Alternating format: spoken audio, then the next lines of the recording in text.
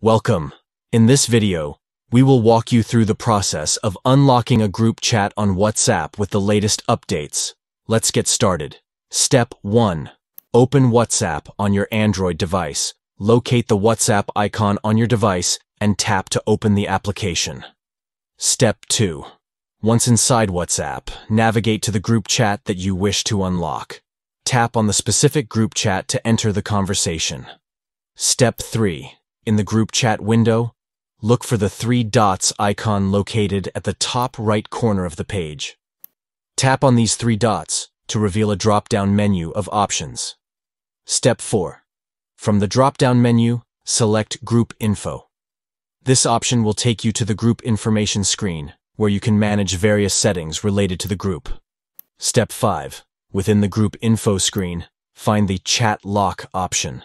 Toggle the switch to turn off the chat lock feature for this group chat. Step 6. After disabling the chat lock, tap on the Continue button to confirm your action and proceed with unlocking the group chat. Step 7. If your device supports fingerprint scanning, you may be prompted to scan your fingerprint for additional security verification. Follow the on-screen instructions to complete the fingerprint scan process.